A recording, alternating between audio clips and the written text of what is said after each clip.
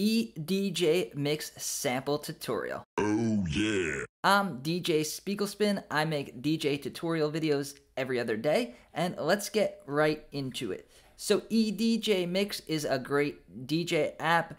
If you want to add samples to spice up your gigs, spice up your sets, what you're going to do is you're going to go down here to the bottom, right to the right or the left of the crossfader, you could set sampler. Now, this app is different than other apps such as djay Pro AI, whereas if you set the sampler, then you get to see the whole sampler at the bottom. It's all the bands.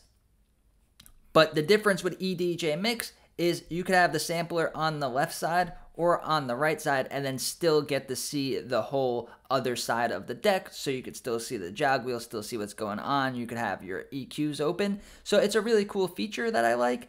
So to have sampler on you click whichever side of the deck you want. And then here we have our sampler. Now to add different samples you're going to press up here where it says get more samples. I didn't download all of them, but there are quite a bit. This is a lot of sample packs, so you really aren't going to run out, and they gave us a lot. So let me just load up this one. So this is the essential sound pack. You could follow along with me. And now what's different about this sampler is if you look down here at this little A and B, that means that there is two pages. So right here with the air horn first is page one. And then if you press this arrow over here, you get to the second second page. So you see how this is fire alarm and all of these ones. And then now we have different ones. Oh yeah. And now if we load up another one, let's just, um, whichever one did I download, load up the EDM. So now this is the breaks.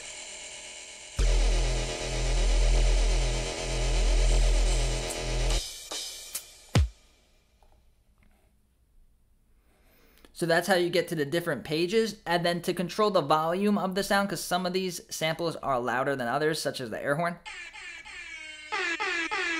you can move this volume slider while you press it. So it's lower.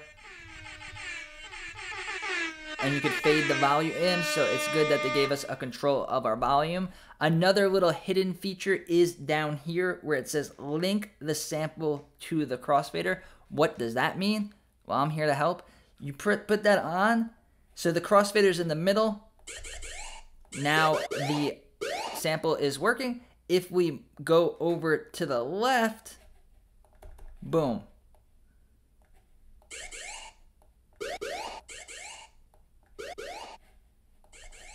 So the volume will get lower, lower with the crossfader, just as if this was a track that was on it. The more you move the crossfader, and if you move it all the way to the left, then that sample will be completely off. But if you have the sample open on both sides, it's going to be full volume. And then if you go to the right, and if you have it on, then it will be linked to the crossfader. I think this is a really cool feature. I haven't really seen this or I don't know about it in other DJ apps. So it gives you a little bit more of a dynamic feel to the samples. So I really like that. This sampler is one of the things that make this app stand out as a really good DJ app. So check out this video over here where I show you guys how to load songs. So now you can load up your songs and then you can add some samples with it. Thanks for watching.